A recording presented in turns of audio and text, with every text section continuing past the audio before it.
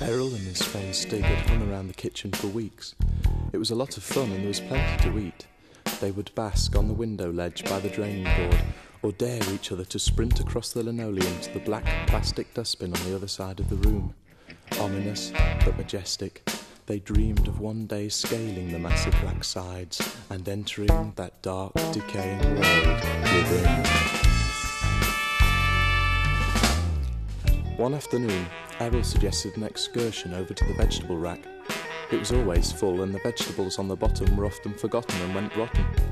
They climbed down the pipes at the back of the sink, made their way around the edge of the linoleum, and started up the red plastic tower, mouths watering and pincers quivering with anticipation. Look what I found, said Errol, pointing an exoskeletal leg to a brown paper bag which could be seen the huge lobes of button mushrooms. You can see the dustbin from here, said Stig.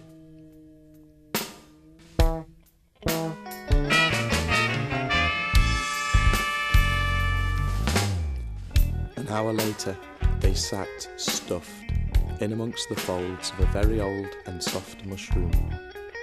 They could have lived in and on the great coracle dome for weeks, had there not occurred a particularly unfortunate event. Tipping the mushrooms onto the chopping board, the monster hand began to dismember their temporary home. To run now would mean certain death by the thumb. Still clinging to their slices, they plunged down to join the onions and garlic already sizzling in the oil.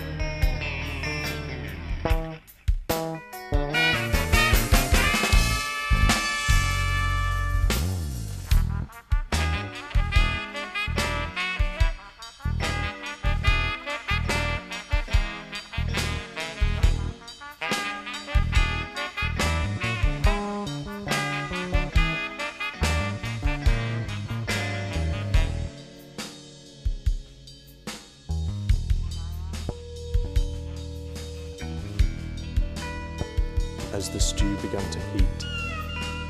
The heat began to stew the two friends.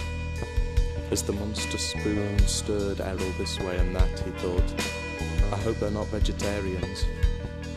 And soon the heat became too much, even for his tough body, and he fell unconscious.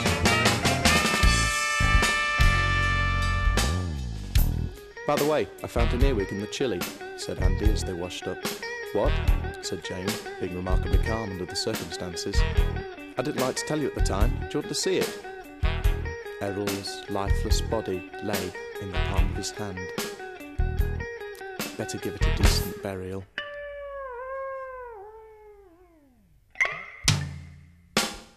He threw it in the dustbin. Errol's dream had come true.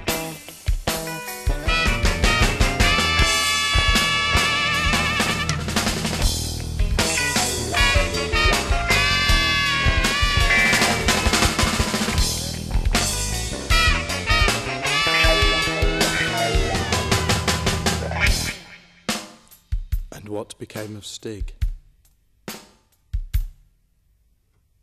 Well, I'd, I'd rather not say.